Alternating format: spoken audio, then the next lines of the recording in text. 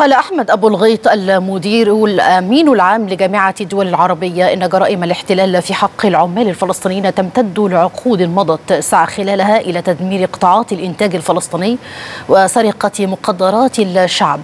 بشتى الطرق. وخلال كلمته في افتتاح أعمال الدورة الخمسين لمؤتمر العمل العربي المنعقد في بغداد ندد أبو الغيط بازدواجية المعايير في التعامل مع إسرائيل. هذا وشدد أيضا على أن حماية الحقوق الفلسطينية مسؤولية الجميع بمن فيهم المنظمات الدولية.